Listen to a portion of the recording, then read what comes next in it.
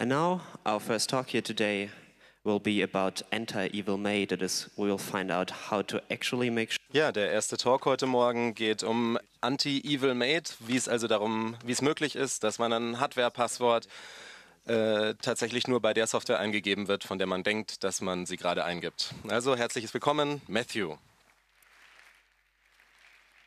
Good morning. Ja, guten Morgen. Also ich möchte zuerst sagen, dass es großartig ist, dass so viele von euch zu so einer völlig absurden Zeit in der Früh hier erscheinen können. Das äh, freut mich sehr. Also mein Name ist Matthew Garrett. Ich bin ein Sicherheitsentwickler bei CoreOS und ich bin auch im Vorstand der Free Software Foundation. Und das interessiert mich sehr. Also Sicherheit interessiert mich sehr, auch äh, Low-Level Security. Before we even get to the point of Ähm, also wie es um die Plattform steht, bevor wir überhaupt äh, Applikationen ausführen. Und äh, ich möchte betonen, dass der Besitzer eines äh, Computers immer in der Lage ist, äh, sicherstellen zu können, dass äh, er die äh, Richtlinien, nach der Software auf seinem Rechner ausgeführt werden, selbst entscheiden kann. Also Leute sollen freie Kontrolle über ihre eigenen Systeme haben. Ja, danke. Also äh. Es gibt hier ein, von meiner Firma ein Büro in, in Berlin. Äh, meldet euch bei mir, wenn ihr, über so, wenn ihr an solchen Sachen arbeiten wollt. Und die Frage, die wir heute behalten wollten, ist, wie kann man wissen, dass der Computer vertrauenswürdig ist? Und in dem Fall meine ich, der Computer wird euch nicht verraten. Der Computer wird in einer Art und Weise arbeiten, dass er euch nicht um, umgehen, eure Entscheidungen nicht umgehen kann und das äh, Leben nicht für Leute leichter macht, die nicht ihr seid. Und wir haben gesehen, dass DRM dazu führt, dass äh, Computer nicht das machen lassen, was ihr wollt, dass sie machen. Aber von einer Sicherheitsperspektive ist es wichtig, dass ein Computer eure Geheimnisse aufnimmt und äh, auch in einer vertrauenswürdigen Art und Weise verarbeitet. Dass er also die Geheimnisse nicht irgendwie äh, speichert und dann äh, benutzt, um Daten über euch zu verteilen. Also wie entscheiden wir denn überhaupt, ein Computer äh, vertrauenswürdig ist? Und bis zu einem Zeitpunkt, wo ihr Geheimnisse in den Computer tut, ist es im Prinzip unerheblich, ob er vertrauenswürdig ist. Da hat er keine Möglichkeit, euch zu schaden. Und Geheimnisse sind offensichtlich natürlich Sachen so wie Passwörter, aber eben auch so Sachen wie eure äh, History im Browser. Und im Wesentlichen alles, das ihr nicht äh, komplett veröffentlichen wollt. Und äh, ich werde über eine ganze Menge Sachen reden, aber You need to have eine komplett vertrauenswürdige Plattform zu bauen, dafür müsst ihr komplett am Anfang des Bootprozesses Vertrauen aufbauen. Bevor irgendwelche Sicherheiten, äh, bevor ihr irgendwelche Geheimnisse eingebt, muss der Computer in einem vertrauenswürdigen Zustand sein. Ihr müsst in der Lage sein zu sagen, ich vertraue diesem Computer. Und wenn das nicht wahr ist, äh, wie kann man denn wissen, dass die Software, in der ihr eure Passwort eingebt, in eurem äh, besten Interesse handelt? Und wenn es um freie Software geht, da können wir den Source Code anschauen, da können Leute den äh, Source Code angucken, viele. Und das bedeutet, äh, ist, die Chance ist höher, dass viele Leute sich das angucken und sagen, ja, die Software ist äh, vertrauenswürdig. Aber sobald es kompiliert ist, sobald es auf der Festplatte liegt, wenn jemand da die, Festpla äh, die Software manipulieren kann, dann äh, geht der Computer eben von vertrauenswürdig zu nicht vertrauenswürdig über. Also wenn jemand euer System auf euer System zugreifen kann und äh, Daten verändern kann, dann seid ihr in dieser unglücklichen Position. Aber es ist sogar noch schlimmer, denn die Software läuft auf äh, einem Kernel von einem Betriebssystem. Und woher wisst ihr denn, dass der Kernel vom Betriebssystem selber nicht modifiziert, äh, die Software nicht selber modifiziert hat?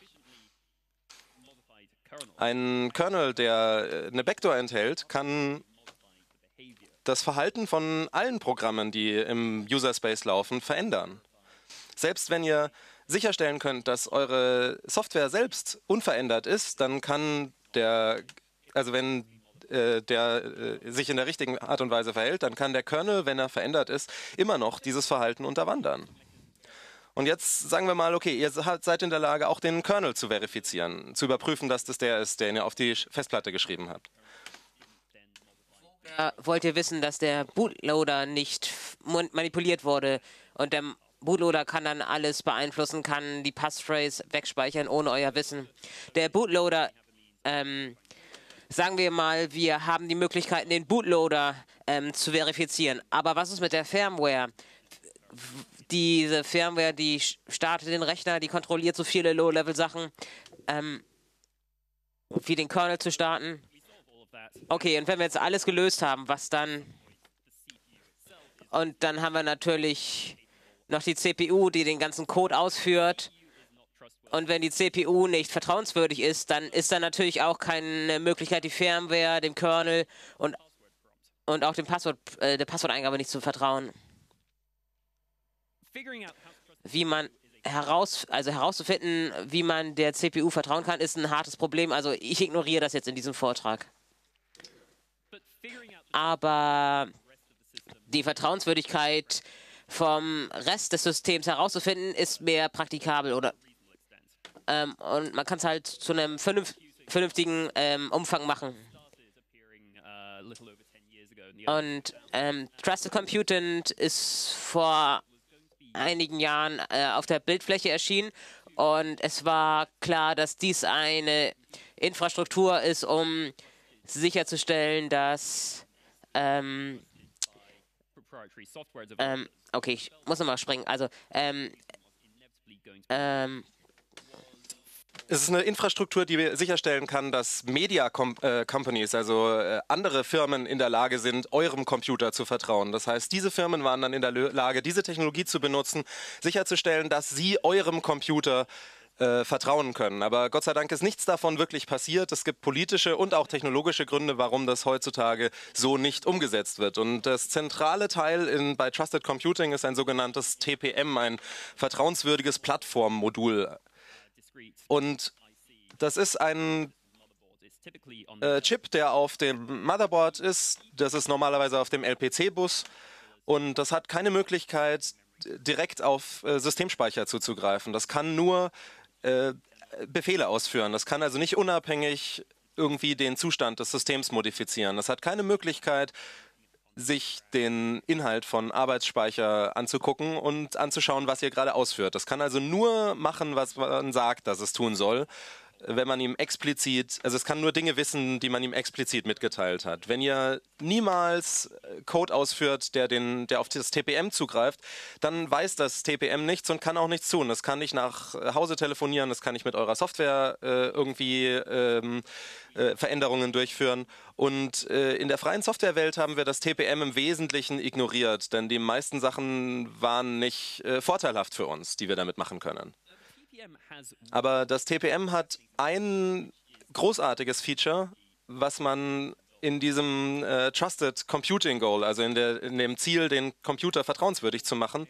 Und das äh, nennt man Measurement, also au Ausmessen, Messungen. Und die Idee ist, dass jeder Kom Komponente eine kryptografische Si äh, Signatur prüft bei dem für den nächsten Komponenten und äh, verhindert, dass du bootest, äh, wenn die Signatur nicht stimmt. Und die Möglichkeit, beliebige Software auszuführen, ist bei Trusted Computing nicht eingeschränkt. Aber stattdessen kann jeder Komponente, jede Komponente die nächste Komponente eben messen und äh, speichert diesen Wert im TPM. Und Messungen in dem Fall sind einfach nur SHA-1-Hashes. just as a brief clarification. Und nur um das mal kurz klarzustellen, dass die TPM-Spezifikation 1.2, das, darüber rede ich heute, äh, 2.0 ist jetzt äh, verfügbar und es gibt auch Geräte mittlerweile dafür, aber fast alle Geräte, die ihr jetzt äh, in der Wirklichkeit antrefft, sind noch 1.2 Geräte. Und äh, TPM 2.0 Geräte können beliebige Hash-Algorithmen benutzen, also zum Beispiel auch welche, die tatsächlich gut sind. So, in a measured boot, Also in einem gemessenen Bootprozess wird der erste Prozess an den zweiten Prozess äh, anschauen und bevor er den ausführt, äh, macht er eine SHA-1-Checksumme davon und schreibt die in ein Plattform-Konfigurationsregister, ein sogenanntes PCR.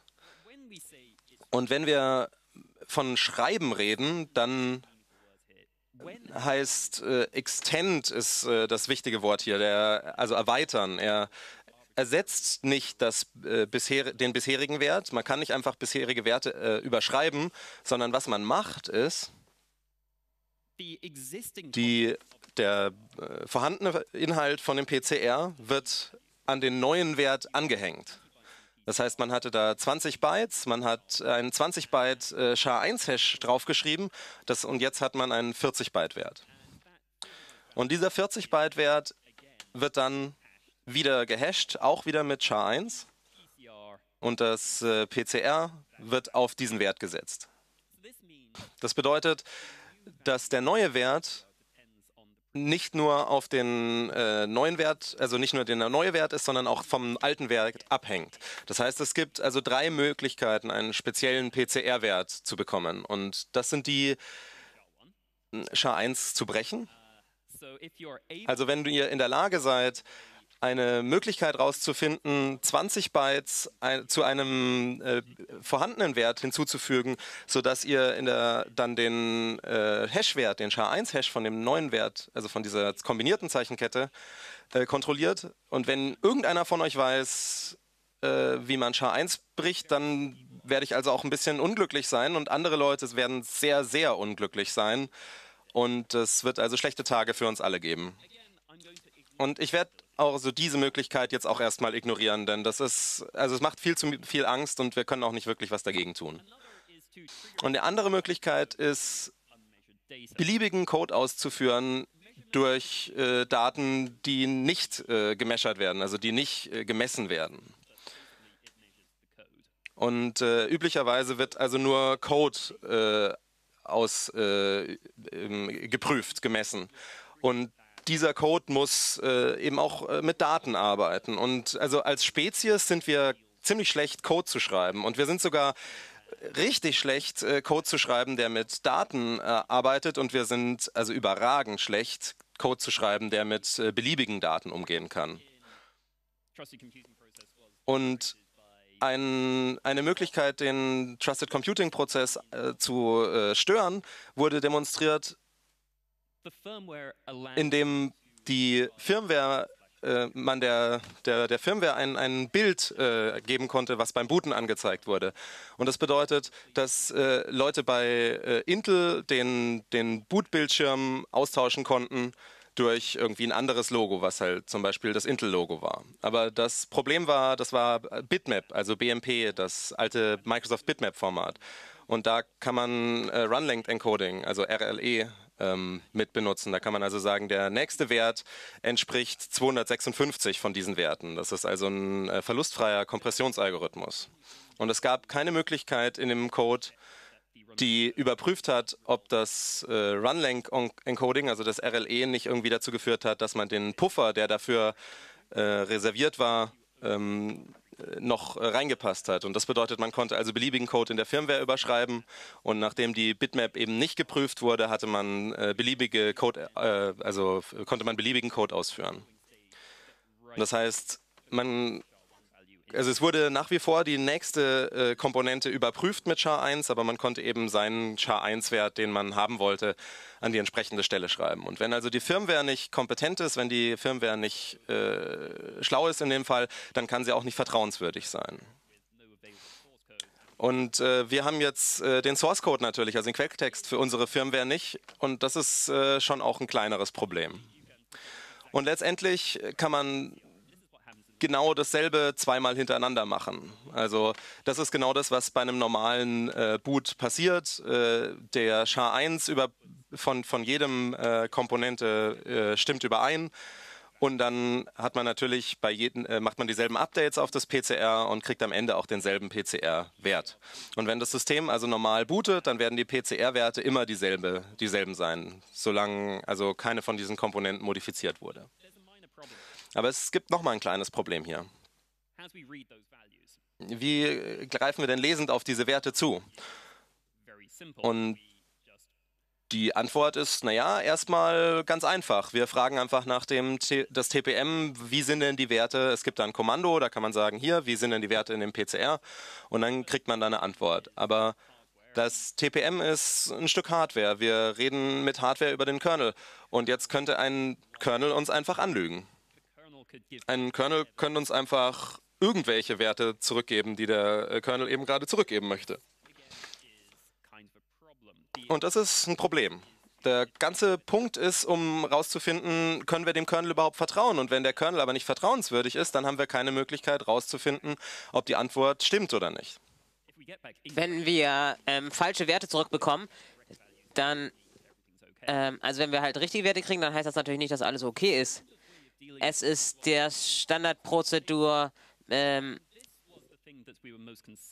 und das war der Teil, wo wir uns am meisten Sorgen drüber gemacht haben. Äh, Anfang der 2000er, where ähm, also dieses Protokoll ist ein, ähm, wo der TPM eine Unterhaltung hat mit dem Server hat und, und der ähm, Endorsement? So Ja, also es gibt da einen Schlüssel, da kann man überprüfen, ob der, ähm, äh, die, die Antwort tatsächlich äh, bestätigt wurde von einem, von einem Server im, äh, woanders, zum Beispiel vom Hersteller, von dem Rechner. Und man kann dann sicherstellen, dass das TPM irgendwas unterschreibt mit diesem Schlüssel, der eingebrannt ist im TPM. Und äh, nur dieses, äh, der Hersteller hat, über, hat Kontrolle über die, die, so, so einen Schlüssel, mit dem das signiert ist. Und dann weiß ich an dem Zeitpunkt, na gut, äh, das TPM ist wahrscheinlich das, von dem sich's ausgibt. Das heißt. Hier habe ich wieder ein entferntes System, das wird äh, mit dem Betriebssystem irgendwie, also da, da bin ich natürlich auf das Betriebssystem angewiesen, dass das funktioniert. Wenn das Betriebssystem verhindern will, dass ich mit diesem Server, der diesen äh, Schlüssel äh, überprüft, reden kann, dann kann es das natürlich. Und das, ähm, das Betriebssystem auf meinem, auf meinem Rechner kann nicht äh, eingreifen äh, in diesen Remote Attestation äh, Prozess. Denn es weiß nicht, also es kann nur in der Lage, äh, es kann nur die äh, Unterhaltung komplett unterbinden, aber es kann eben nicht diesen äh, Wert anders signieren. Und das, äh, der Server auf der anderen Seite kann dann überprüfen, ob das System in irgendeinem Zu, äh, in einem vertrauenswürdigen Zustand ist. Und das äh, hängt halt von irgendeiner Vorstellung davon ab, was vertrauenswürdig davon bedeutet. Also ich erkenne zum Beispiel die Firmware-Version daran, dass das, äh, der PCR-Wert der richtige ist. Und ich erkenne diesen Bootloader und es ist mir zum Beispiel egal, was für ein Kernel gebootet wird. Das kann man dann zum Beispiel machen. Und das bedeutet, ich muss jetzt diesem entfernten Rechner vertrauen.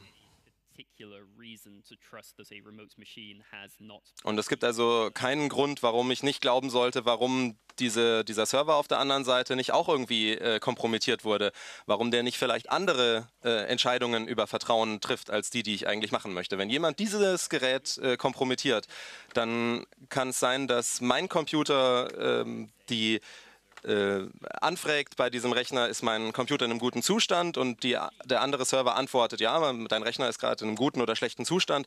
Aber äh, wenn jemand diese Maschine kompromittiert, dann kann er einfach sagen, ja, dein Rechner ist in einem guten Zustand. Naja, und der zweite Problem ist, du brauchst auch Netzwerkzugriff. Es gibt keine Möglichkeit, als lokaler Benutzer herauszufinden, ob mein System vertrauenswürdig ist. Also wenn du in einem Flugzeug bist ohne WLAN, irgendwo auf dem Land, wo es kein äh, Netzwerk gibt oder du bist einfach sonst irgendwie nicht an ein Netzwerk angeschlossen, dann kann man dieses Remote Attestation Protokoll nicht benutzen. Das ist also nicht ideal. Und wie kommuniziert die äh, Maschine überhaupt mit dir? Also per SMS vielleicht, aber dann könnte jemand einfach äh, eine gefälschte SMS schicken, denn wir wissen, dass die äh, Telefonnetzwerke nicht so sicher sind, wie wir das gerne hätten. Und wenn der Angreifer oder der Feind in dem Fall irgendwie eine Regierung ist, dann stimmt das in besonderem Maße.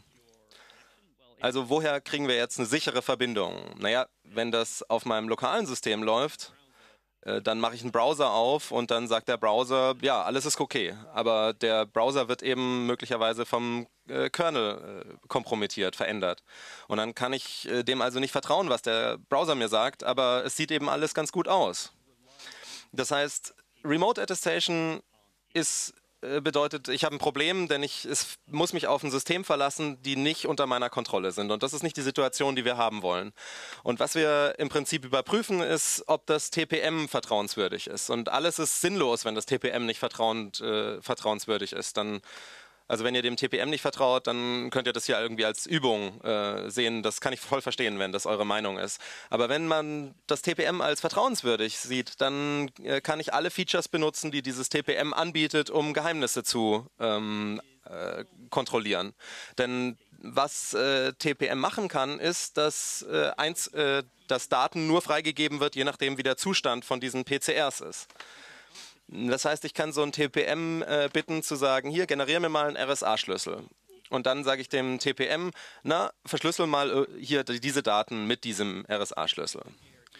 Und das Coole daran ist, ich kann das TPM bitten, diese Daten zusammen mit Informationen über diese PCR-Werte zu verschlüsseln.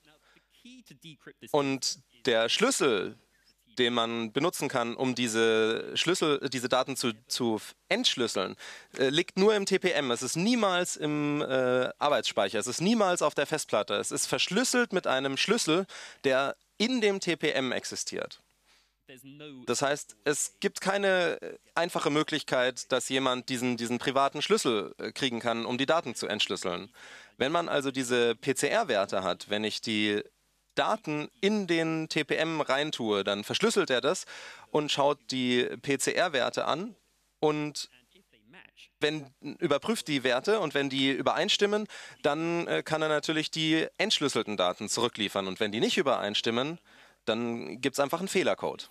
Und das bedeutet, dass es möglich ist, ein Geheimnis zu kennen, das nur das nur rausgegeben wird, wenn die Messungen gut sind und was dann möglicherweise bedeuten sollte, dass dein System vertrauenswürdig ist.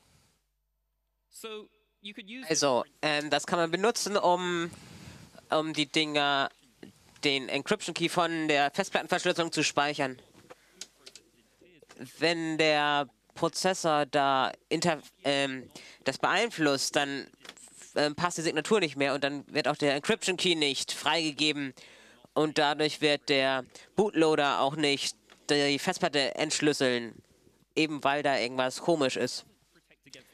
Aber das verhindert nicht, äh, das schützt einem nicht vor den Fall, wenn jemand ähm, den Laptop klaut.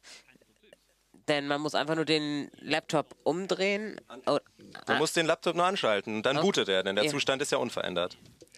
Und, ähm, und das System überprüft, dass der Bootzustand nicht ähm, beeinflusst wurde. Also man gibt ein Passwort ein, das System startet, das TPM entschlüsselt den Schlüssel. Wenn das TPM dabei erfolgreich ist, dann haben wir bereits die Hälfte des Prozesses, aber wir brauchen immer noch die Passphrase, um den Schlüssel in einem zweiten Zustand oder in einer zweiten Phase äh, zu entschlüsseln. Das sieht sicher aus, denn wenn jemand die Maschine klaut, dann, dann können sie halt immer noch nicht auf, auf euer System zugreifen. Ähm, und wenn man das System beeinflusst, dann äh, scheitert das bereits im ersten Schritt. Da ist aber ein Problem mit dieser, ähm, mit dieser Art zu denken, denn ähm, Ihr bootet euer System und ihr kriegt eine Passwortabfrage und ihr denkt, okay, also euer System ist jetzt in einem sicheren Zustand und ihr gebt euer Passwort ein und das äh, sieht so aus, als würde das System booten. Und dann geht irgendwas schief, weil äh, Linux in dem Fall schlecht ist. Das kann passieren, ihr macht den Rechner aus und wieder an und ihr macht den aus und wieder an und ihr kriegt wieder den Passwortprompt und äh, das System bootet. Also alles sieht gut aus. Und Software funktioniert nicht, das passiert manchmal, das seid ihr gewöhnt. Wie viele von euch hab, haben noch nie ein, eine Kernel-Panik gesehen? Also es melden sich jetzt etwa zwei Leute im Publikum. Na, er behauptet, es hätten sich niemand gemeldet. Also das sind Sachen, die könnten einfach mal passieren. Aber das Problem ist, woher wissen wir denn, welches Programm diese Ausgabe hier erzeugt? Ihr habt keine Ahnung, äh, ob diese, diese Passwortabfrage legitim ist. Also ihr wisst nur, dass wenn der Bootprozess verändert wurde, dass das äh, TPM das Geheimnis nicht freigeben wird. Das heißt, die Passphrase allein ist total äh, sinnlos. Aber ihr wisst immer noch nicht, dass das tatsächlich der echte Passwortabfrage ist. Also jemand könnte euer System infiziert haben mit Code, der den Bootprozess so modifiziert hat, dass er eine falsche äh, Passwortabfrage anzeigt, also eine gefälschte. Dann wartet es darauf, dass äh, ihr euer Passwort eingibt, speichert das irgendwo, Printed a fake kernel panic. gibt eine falsche Fe Kernel Panic aus und hat sich dann selbst äh, deinstalliert. Und ihr äh, bootet neu und jetzt funktioniert alles, denn der Bootprozess ist jetzt äh, vertrauenswürdig. Aber das Problem ist, jetzt gibt es irgendwo auf eurem System eine Kopie eurer Passphrase. Jetzt kann ein Angreifer einfach euren Laptop klauen, die haben äh, euer Geheimnis, die haben eure Passphrase und das ist nicht ideal.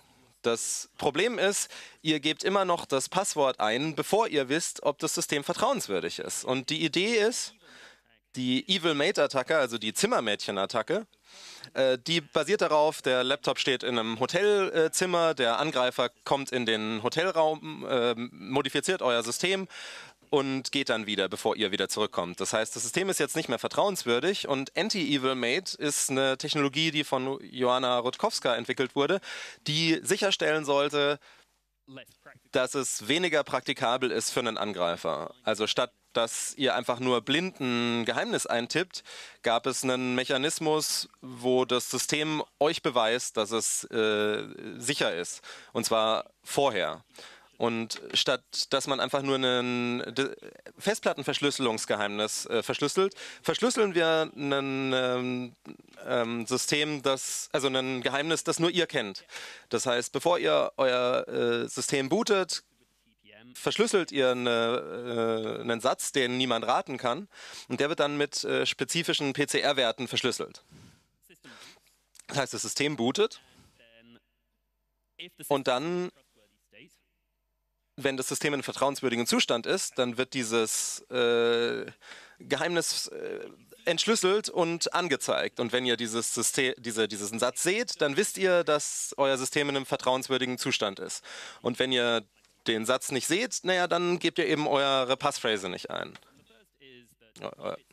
Und wenn es immer angezeigt wird, dann ist das erste Problem, naja, dann ist es ganz einfach, dass jemand hingeht, euer System bootet, den Satz abliest und dann sein, seine bösartige Software installiert, die, die denselben Satz äh, ausgibt, auch wenn das System nicht in einem vertrauenswürdigen Zustand ist. Das heißt, der Weg, äh, um das zu umgehen, ist, wir speichern dieses Geheimnis auf einem USB-Stick. Das heißt, wenn wir das von dem, mit dem USB-Stick äh, booten, dann kann das, das, das Geheimnis jetzt entschlüsselt werden und angezeigt werden. Aber das bedeutet, der Benutzer muss die ganze Zeit einen USB-Stick mit sich rumtragen und der muss die entsprechende Disziplin haben, dass der USB-Stick immer eingesteckt ist, wenn er Angst hat, dass sein System modifiziert werden sollte. Das heißt, möglicherweise vergisst ein Benutzer das und dann wurde das System kompromittiert und ihr merkt es nicht. Und ein Geheimnis auszugeben, ein, ein, ein statisches Geheimnis auszugeben, das ist suboptimal. Optimalerweise hätten wir kein statisches Geheimnis, sondern irgend so eine Art dynamische Anzeige. Also irgendwas, das sich ändert äh, über den verschiedenen Zeitraum. Also wo ich of the secret being presented in einer Session nur ein so, also wo ich quasi, wenn ich ein so ein Secret mir anschaue, dann erlaubt es mir nicht, äh, das Secret auch in der Zukunft anzuzeigen. Also irgendwas mit einem dynamischen, mit einer dynamischen Komponente. Und ich hoffe, dass alle von euch sowas in der Art schon benutzen. Also falls ihr das nicht macht, dann sollt ihr euch schlecht fühlen und das gleich einmal anschalten. Denn das ist im Prinzip das Designziel von TOTP, also Einmalpasswörter, zeitbasierte Einmalpasswörter. Das äh, benutzt wird für Zwei-Faktor-Autorisierung. Ihr habt ein, es gibt, wenn ihr euch bei einer Webseite anmeldet und ihr macht Zwei-Faktor-Autorisierung an, dann erzeugt die Webseite ein Geheimnis und speichert das. Und die Webseite gibt euch üblicherweise einen QR-Code und ihr scannt den ein auf eurem Telefon und jetzt hat auch das äh, Telefon eine Kopie von dem Geheimnis. Aber bei der Authentifizierung basiert es eben nicht nur auf dem Geheimnis, sondern eben auch auf der aktuellen Zeit. Das heißt, es gibt einen Algorithmus, da nehmt ihr das Geheimnis, die Zeit und daraus kommt dann eine sechsstellige äh, Zahl und die gebt ihr der Webseite und die Webseite überprüft dann, dass das äh, die korrekte Nummer ist, denn die Webseite kennt ja auch das Geheimnis und die Uhrzeit. Also mit etwas Glück weiß es auch die äh, richtige Uhrzeit. Das, ist, das löst also im Wesentlichen dieses Problem. Und das ist großartig, denn das ist, äh, gibt's schon. Es gibt eine ganze Menge Apps für Zwei-Faktor-Autorisierung, die sind kostenlos. Ihr könnt die äh, sind auch freie Software. Ihr könnt ja auf einem Betriebssystem, das freie Software ist, ihr könnt das auch auf freie Software, die auch auf freier Firmware läuft. Das heißt, es ist großartig. Denn äh, Benutzer wurden auch schon trainiert, äh, dass sie das System gut verstehen. Benutzer, viele Leute benutzen das und die Welt ist trotzdem noch nicht zu Ende. Das heißt, wir können davon ausgehen, dass äh, viele Nutzer irgendwie verstehen, wie das mit diesen äh, sechs äh, Zeichen, also sechsstelligen Zahlen funktioniert, auch wenn sie die Technologie dahinter nicht verstehen. Und was wir jetzt machen können, ist, wir können das äh, Geheimnis, das TOTP-Geheimnis, mit dem TPM verbinden.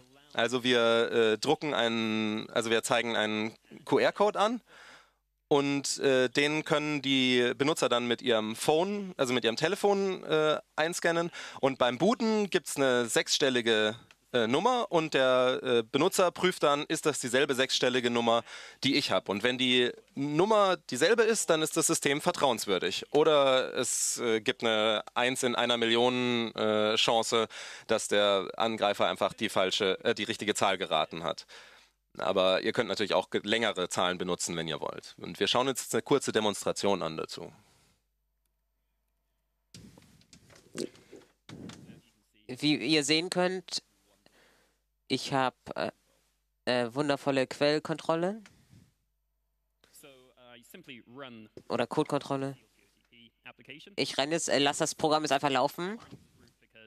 Ich lasse das jetzt als äh, Root laufen, weil das direkt über den Kernel Space äh, mit dem TPM spricht. Und hier ist der QR-Code. Ist denn das nicht toll? Ist denn das äh, ANSI-Terminal toll? Und jede, jeder im, im Publikum kann jetzt diesen QR-Code missbrauchen, um bei mir einzubrechen. Also sollte man das, Sicher äh, das Geheimnis nicht für irgendwas Wichtiges benutzen. Und wenn ich jetzt das hier laufen lasse, wow, dann kriege ich eine sechsstellige Zahl. Wenn ich das ähm, QR, den QR-Code auf dem Telefon verwendet hätte, hätte ich, hätte ich die gleiche sechsstellige Nummer bekommen. Ich überlasse es euch, das zu verifizieren. Nur als Erinnerung, wenn ihr versucht, das zu machen, während ihr das Video zuschaut später, dann wird es natürlich nicht mehr funktionieren, denn das ist natürlich die Idee des Ganzen. Also zurück äh, zu diesem, ähm, also es gibt einige Probleme. Also ein Problem ist, dass das äh, Geheimnis im RAM liegen muss.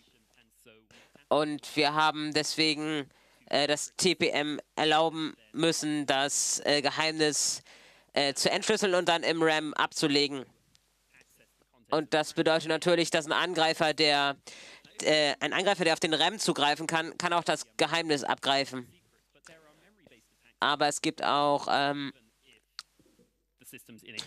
es gibt äh, äh, Arbeitsspeicherangriffe, die auch in einem vertrauenswürdigen Zustand funktionieren. Also zum Beispiel, wenn man Bussysteme hat, die DMA-Zugriff erlauben, dann kann man einfach das DM, per DMA das Geheimnis aus dem RAM auslesen kann. Das heißt, man möchte, dass IOM, äh, IOMMU aktualisiert ist, aber leider ist das bei äh, vielen äh, Betriebssystemen immer noch deaktiviert, äh, speziell bei freier Software, weil Software, also weil wir schlecht sind, was Software angeht.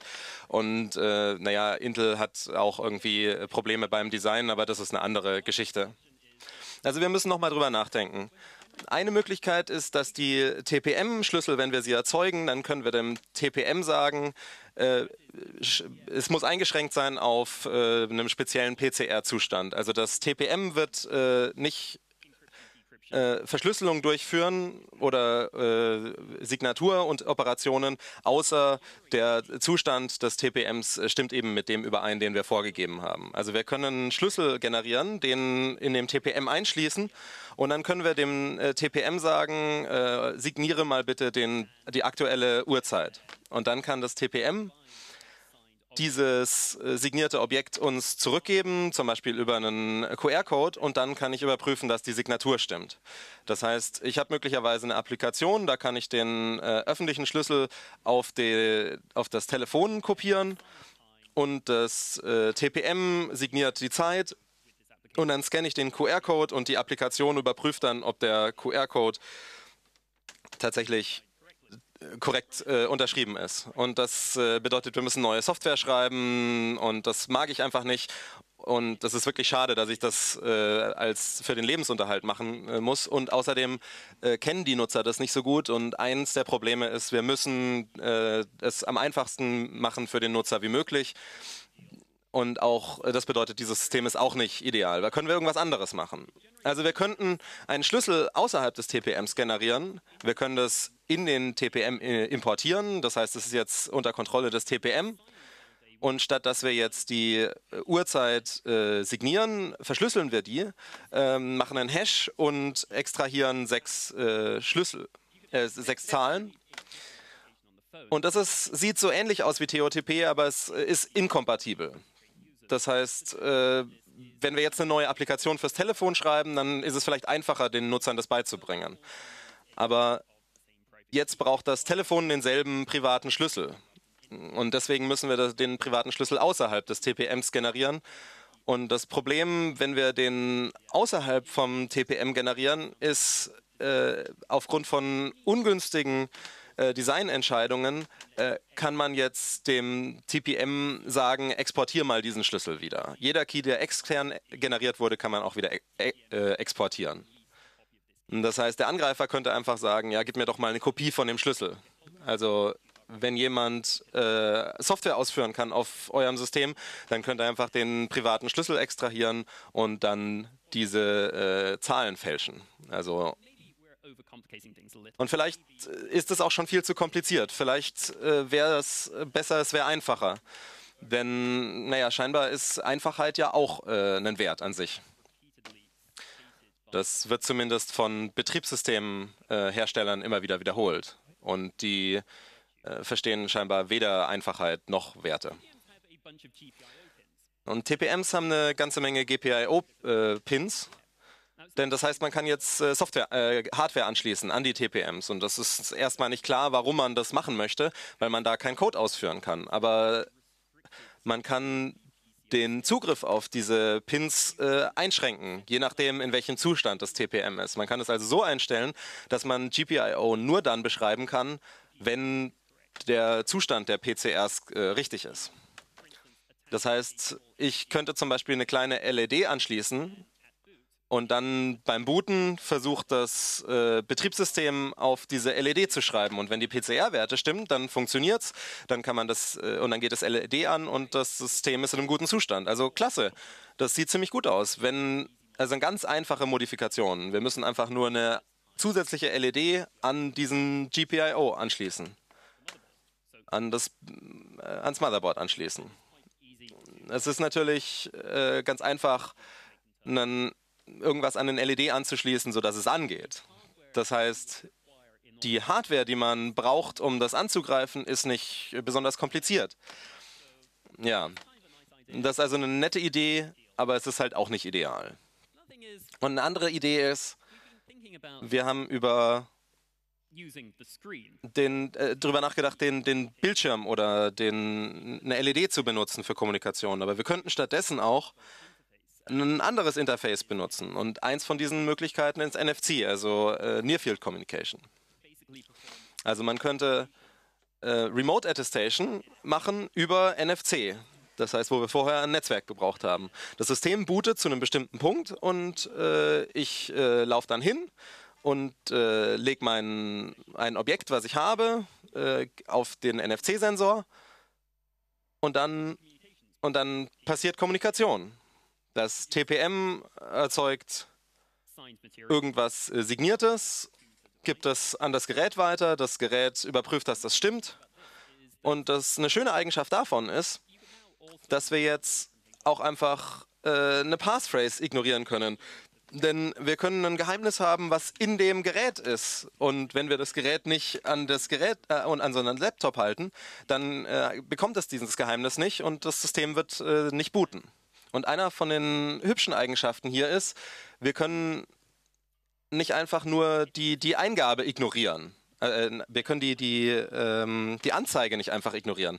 Wenn ich so eine äh, sechsstellige Zahl kriege, das kann ich einfach ignorieren und einfach mein Geheim, meine Passphrase eingeben. Aber in dem Fall, wenn ich immer mein Telefon oder irgendwas anderes gegen das äh, an den Laptop halten muss und das nicht dazu führt, dass das System dann automatisch bootet komplett, dann gibt es keine, also ich kann das nicht vergessen. Wenn ich das nicht mache, dann äh, bootet das System einfach nicht. Das heißt, ich kann jetzt das äh, korrekte Behalten, Verhalten von den Nutzern erzwingen. Es ist viel einfacher, äh, den äh, Nutzer zu trainieren, wenn es einfach keine Möglichkeit gibt, es falsch zu machen. Also ich war früher mal Sysadmin und das äh, hat also mit persönlicher Erfahrung zu tun. Und das Problem hier ist, nun ja, ähm, ihr habt immer noch äh, begrenzte äh, Hardware-Unterstützung. Die meisten ähm, Laptops haben keine Near Field Communication Fähigkeiten, aber wenn man diese Hardware hat, dann ist das eine interessante Möglichkeit, sich das anzuschauen. Und es wäre natürlich schön, äh, wenn jemand tatsächlich diesen Code schreiben würde, der das unterstützt. Das ist mein gewöhnlicher, meine gewöhnliche Herangehensweise, neue Software zu bekommen. Aber wir sind äh, selbst mit all diesen Maßnahmen immer noch ähm, gefährdet durch verschiedene äh, Angriffe. Wenn man kein IOMMU hat, dann hat man keine Möglichkeit, DMM-basierte äh, Angriffe also da muss man leider aufgeben, weil das geht einfach nicht. Leider gibt es ähm, ein Gerät, das immer ähm, DMA machen kann und das es in jedem System drin ist. Das ist die ähm, AMD hat ähm, wird auch, also Intel hat das schon, AMD wird es bald ebenfalls einbauen. In der x86-Welt sind wir leider ähm, damit äh, ja, wir müssen uns leider damit abfinden, dass es diese MA-Systeme immer noch mit ähm, hergestellt werden. Und ähm, deswegen können unsere Systeme halt auch nicht hundertprozentig sicher sein und vertrauenswürdig sein. Und ja. Also es könnte jemand äh, zu, äh, Code in eure Management Engine eingeführt haben, zum Beispiel jemand, der für so eine drei Buchstaben äh, Agency, NSA, CIA und so weiter arbeitet und äh, ihr könnt also nicht sicherstellen, dass äh, euer System zu irgendeinem Zeitpunkt in einem komplett vertrauenswürdigen Zustand steht. Es gibt einfach aktuell keine gute Antwort auf dieses Problem. Es ist ein äh, Problem, was äh, darum geht, wir haben vertrauenswürdige Firmware, wir haben vertrauenswürdiges Betriebssystem, aber wir wissen nicht, mit, zumindest nicht mit Sicherheit, wie äh, gut der Zugriff auf die Manage Engine äh, kontrolliert wird. Wir wissen nicht, wie sicher die ist. Wir wissen nicht, wie kompetent die Entwickler waren. Alles, was wir wissen, ist, die, äh, dass Intel uns sagt, die Management Engine wird von Top-Men, also von hervorragenden Leuten, das ist eine Indiana Jones-Referenz, ähm, entwickelt. Ja, und wenn wir uns, also ich habe eine ganze Menge Code gesehen von Intel und ich möchte da jetzt nicht äh, dafür, äh, also ich möchte jetzt nicht sagen, dass Intel immer großartige Software schreibt. Und man kann natürlich auch einfach das TPM selbst angreifen. TPMs sind selbst nicht dafür gemacht, dass sie äh, nicht modifiziert werden können. Die Spezifikation äh, überlässt es komplett der Plattformspezifikation oder für die einzelnen Hersteller, dass die da äh, Wettbewerb machen können. Und das ist äh, auch nicht ideal. Äh, eine ganze Menge von denen ähm, definieren, ähm, äh, dass man sehen kann, dass, äh, dass es modifiziert ist. Und eine ganze Menge Hersteller sagen, naja, guck euch das, schaut euch das Motherboard an, ist das TPM noch da? Und wenn ja, dann ist es wohl nicht modifiziert worden. Und das ist äh, wieder mal nicht ideal. TPMs äh, sollen nicht besonders widerstandsfähig äh, sein gegenüber Attacken. Also wenn jemand so ein TPM äh, rauslötet, dann kann man fast mit Sicherheit vermuten, dass jemand die Daten auslesen kann und Regierungen können sowas mit Sicherheit machen. Und vielleicht auch ein Amateur, wenn er genug äh, Ahnung hat, ohne besonders viel Geld oder Zeit da einzusetzen. Das heißt, das ist auch nicht wirklich ideal. Äh, aber es ist okay, wir haben eine gute Lösung dafür, denn Intel hatte die Idee, dass wir statt einem TPM im Motherboard haben, können wir ein TPM, äh, das äh, auf der Management Engine läuft, als Software. Ja, das ist sicher großartig.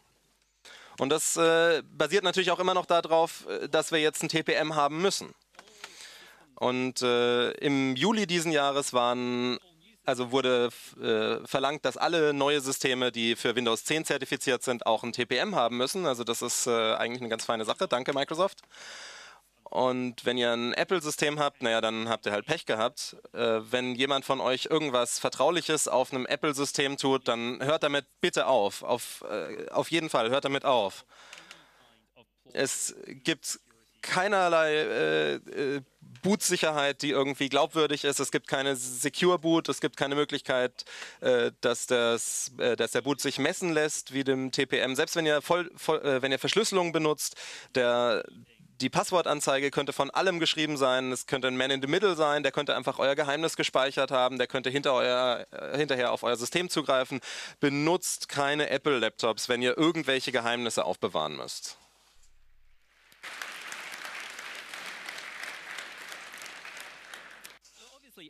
Naja, offensichtlich, wenn man also Hardware nicht vertrauen können, dann haben wir keine Möglichkeit, irgendwas zu vertrauen. Wenn, die, wenn wir der CPU nicht vertrauen können, dann können wir keinen vertrauenswürdigen Laptop bauen. Wenn die Hardware von einem Hersteller nicht vertrauenswürdig, äh, also als nicht vertrauenswürdig designt wurde, dann gibt es keinen, keinen Fortschritt. Da haben wir am Ende äh, höchstens vielleicht äh, die Möglichkeit, irgendwie über diesen, diesen Prozess zu kontrollieren. Aber und die einzige Möglichkeit am Ende wäre, dass wir äh, komplett Open Source CPUs haben. Wenn wir jeden einzelnen Transistor beim Design schon prüfen können und prüfen können, dass äh, das alles vertrauenswürdig ist, äh, wenn das schnell ist, dann kann es immer noch Probleme geben, weil es eine Backdoor gibt. Und das ist ein sehr, sehr schwieriges Problem. Ich muss zugeben, ich habe keine Ahnung, wie man das lösen soll. Aber äh, schrittweise Verbesserungen in, Verbe in, Sicherheit, die sind immer noch Verbesserungen. Also wir können nicht einfach sitzen bleiben und sagen, na, die wirklich schweren Probleme können wir eh nicht lösen. Und deswegen ignorieren wir jetzt alle anderen Probleme. Und wir müssen immer noch machen, also so viel machen, wie wir können. Äh, Leute müssen immer noch in der Lage sein, so weit wie möglich sicherstellen, äh, dass Ihr System vertrauenswürdig ist. Ich übernehme. Ähm, hier ist ein Code, also einige äh, Pro Programmcode, ähm, den ihr verwenden könntet, um äh, ähm, vertrauenswürdige Boots zu machen. Ihr braucht einen Bootloader, der volle TPN-Messung äh, machen kann. Und ähm, zum Beispiel der Shim Bootloader, der kann das. Ähm, ich habe einige Patches für Grub der Measurements zulässt. Und dann hat man halt einen komplett gemessenen ähm, Bootprozess bis hin zum Kernel-Start. Ich messe sogar die Kommandos, die man in Grub reingibt. Und der Code, den ich demonstriert habe ähm, für die äh, TPM-Secrets, der, also den, ich, den Code, den ich gezeigt habe, die Programme, der ist ebenfalls auf GitHub. Und, und das sollte eigentlich ziemlich straightforward sein für Benutzer, diese Sachen zu aktivieren. Es gibt einige zusätzliche Komplexitäten, über die ich gerne reden würde. Aber, die, aber das will ich jetzt nicht hier im Talk machen. Wir haben ungefähr zehn Minuten über. Also wenn wir jetzt zu einigen Fragen kommen wollen, können wir das jetzt machen.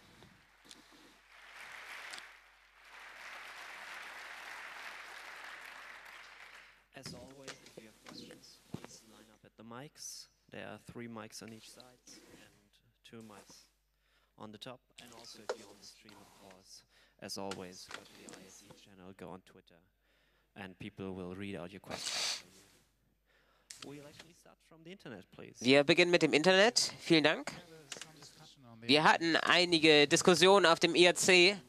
Wäre es möglich, äh, wäre es möglich, den NFC-Ansatz mit, mit QR-Code verwenden, also nicht NFC verwenden, sondern QR-Code verwenden, so dass man dann ähm, den QR-Code verwenden würde, um halt sechs äh, Ziffern zu erzeugen, die da eingegeben werden müssen. Ja, also ich sehe keinen Grund, warum das nicht funktionieren soll. Klar, man kann statt NFC einfach QR-Codes benutzen. Ja. you would need to Also ihr müsstet sicherstellen, dass die App nicht einfach nur die sechsstellige äh, Zahl anzeigt, sondern dass die App auch äh, gleich äh, anzeigt, ob das äh, Zertifikat überprüft wird. Aber klar, ich kann mir vorstellen, dass das funktioniert. Mikrofon 2, äh, 8. Vielen Dank für diesen Vortrag. Ähm,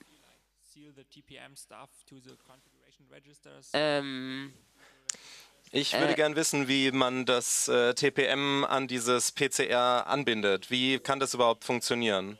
Naja, und ich wollte eigentlich diese, äh, diese Subtilität mal weglassen.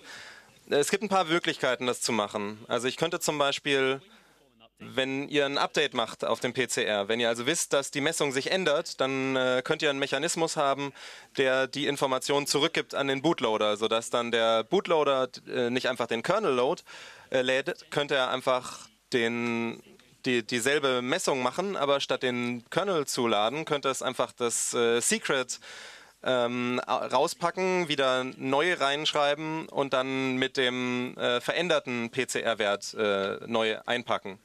Und dann gäbe es halt quasi einen sicheren Kanal zwischen dem Betriebssystem, also ihr bräuchtet einen sicheren Kanal zwischen dem Betriebssystem und dem Bootloader. Und es gibt vielleicht eine Möglichkeit über äh, UEFI-Werte, aber die, möglich also die meisten Implementierungen machen das so, dass wenn man ein Update macht, dann wird das Geheimnis ausgepackt und dann auf das, den, die Festplatte gespeichert. Ihr bootet ohne Verifizierung und dann wird es wieder äh, zurück in das TPM gespeichert. Und das ist nicht ideal, denn das äh, führt dazu, dass, äh, dass man äh. Benutzer motiv äh, motiviert, sich unverantwortlich zu verhalten. Und was wir es gibt verschiedene Ansätze, auch proprietäre Ansätze machen das nicht großartig. Und das, ich denke, wir könnten was Besseres machen, aber das, da gibt es noch eine Menge Arbeit zu tun. Es ist möglich, aber es ist nicht äh, bequem. Hi. Entschuldigung, äh, wenn du das bereits beantwortet hast. ähm, hast du schon die Chrome OS ähm, Sicherheit ähm, Infrastruktur angeschaut? Weil, also von den Chromebooks, ähm, Ja, also Chrome OS ist in einem Zustand, dass das äh, TPM benutzt wird als äh, Vertrauens, äh, als, als äh, ursprüngliche Vertrauensstelle. Also wenn man den TPM vertraut, dann kann man allem anderen vertrauen. Das heißt, es stellt sicher, dass das Betriebssystem äh, vertrauenswürdig ist, äh, aber es ist immer noch möglich, dass das System eine falsche, äh, eine falsche Passwortanzeige anzeigt und sich dann selbst äh, neu bootet. Das heißt, ähm, Chrome OS macht also sehr viele Dinge richtig, aber ist immer noch äh, gegen ver verschiedene Angreifer. Äh, das heißt, der Laptop kann dir, zeigt dir nicht gut an, dass er in einem vertrauenswürdigen Zustand ist. Das, er behauptet es einfach. okay, ich bin mir nicht sicher, ob das funktionieren wird, aber ich werde drüber nachdenken. Ich habe zwei kleine Fragen. Warum ist das TPM auf dem Motherboard und nicht in der CPU integriert? So dass man es also nicht so einfach in, ähm, entfernen kann. Und das zweite,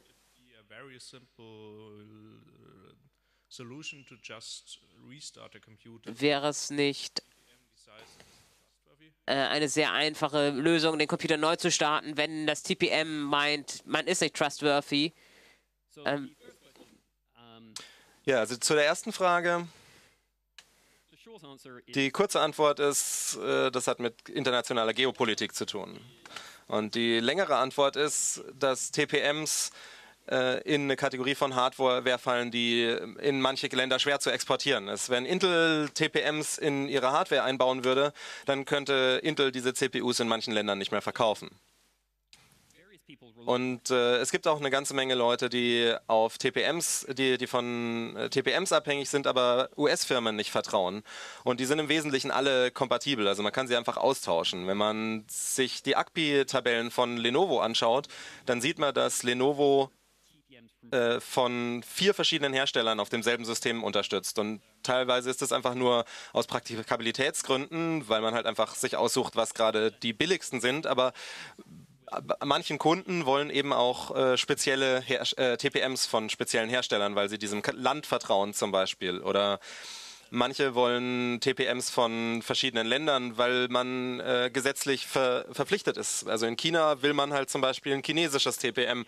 Das heißt, es ist ein bisschen komplizierter, als man sich das vielleicht vorstellt. Aber die, der Vorteil ist, wenn die CPU unvertrauenswürdig ist, dann müsste irgendjemand immer noch die, das TPM kompromittieren. Und wenn das TPM von Infineon ist, also ein deutsches ist und äh, die CPU ist von Intel, dann braucht man also entweder jemanden, der bei sowohl als äh, in den Vereinigten Staaten als auch in Deutschland die Herstellung manipuliert oder es muss beides äh, also oder ihr, du musst dich äh, so heftig äh, mit der NSA und dem BND angelegt haben, dass beide dich doof finden.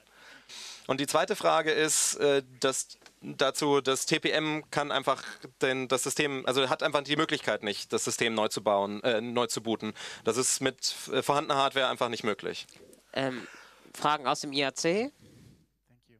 Um, are there any operating system projects that would be happy to Gibt es ähm, Betriebssystemprojekte, die planen, so diesen Standard zu implementieren? Also ich sehe keinen Grund, warum das äh, Betriebssysteme nicht einbauen könnten. Also es ist einfach nur Arbeit, die mal halt gemacht werden muss.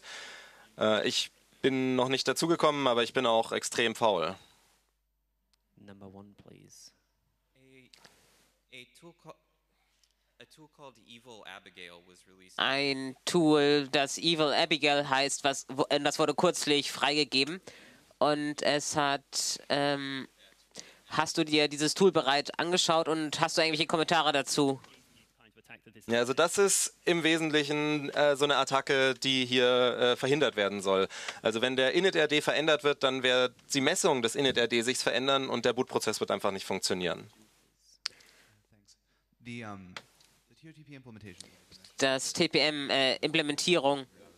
TPM, Also es gab einige Probleme. Also äh, du hast die Probleme beschrieben, um Also das TPM-Modul versucht halt SHA-1-Summen zu beruf- äh, berechnen, aber kann das TPM-Modul selber SHA-1 berechnen? Antwort ist nein. Dieses TOTP kann man nicht, HMAC SHA-1, was für TOTP benutzt wird, kann das TPM nicht. Okay.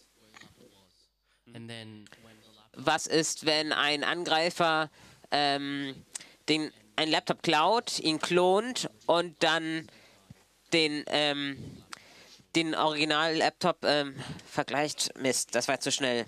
Also die Frage war, ich kopiere einen kompletten Laptop und äh, der Laptop sieht komplett aus wie meiner und der äh, Attacker hat meinen Laptop geklaut und äh, gibt mir einfach denselbe Wert, was der Laptop, der Live-Laptop äh, quasi ausgibt. Und naja, das sieht aus, als wäre das äh, total äh, absurd. Wenn, ihr, wenn ihr damit Probleme habt, dann macht vielleicht, bootet euren Laptop vielleicht nur in einem Faradayschen Käfig. Oder verwendet eine Menge Stickers auf eurem Laptop. features available on non-x86 systems. Ähm, gibt es diese Features auch auf nicht x86 Features? Also TPMs hängen nicht unmittelbar von x86 ab. Also es gibt auch ARM-Systeme, die äh, TPM-basierte Funktionalitäten anbieten. In manchen Fällen Hardware-TPM, in manchen Fällen Software-TPM, das in der ARM Trust Zone läuft, was also ganz, ganz schrecklich ist. in that case you can do Und in dem Fall kann man genau dieselben Operationen durchführen. Und äh, ob es komplett, also Implementierungen basierend auf komplett anderer äh, Implementierung gibt, das weiß ich nicht. Also ich glaube nicht. Also wenn ihr, wenn ihr das Problem lösen wollt, dann ist der einfachste Weg, einfach so ein TPM auf dem System zu installieren. Es gibt keine x86-spezifischen Features, die man da braucht. Ihr könntet das auf jedem System installieren. Fragen aus dem Internet bitte. Thank you. What is the difference between your code Was ist, was ist der Unterschied zwischen deinem Code und Secure Grab 2? Also Secure Tab 2 ist nicht der also von dieser französischen Organisation? Uh, Ähm, Na gut, also wie dem auch sei. my recollection is that Soweit mich meine Erinnerung nicht täuscht, war die andere Implementierung nur äh, für TPMs, die auf BIOS-Systemen läuft. Und meine Implementierung funktioniert auch mit UEFI. Das heißt, man kann es mit UEFI Secure Boot kombinieren. Man, also eins von den äh, hübschen Sachen bei Secure Boot ist, dass wenn die Schlüsseldatenbank äh, mit dem PCR äh, in einen PCR gespeichert wird, also der Hashwert davon. Das heißt, man kann auch sicherstellen, dass niemand mit dieser Schlüsseldatenbank äh, Manipulation vorgenommen hat. Und das kann, kann man für praktische Vorschriften benutzen. Also man kann zum Beispiel sagen, okay, es wird nur die Firmware und die Schlüsseldatenbank äh, überprüft und dann kann man einfach sicherstellen, äh, dass der Secure Boot äh, für alles andere ähm, äh, sorgt, für die Sicherheit von allem anderen. Das heißt, äh, signierte Sachen äh, booten dann einfach, ohne dass man da äh, zusätzliche Arbeit machen muss. Ich denke, das ist der Hauptunterschied. Und das ist es.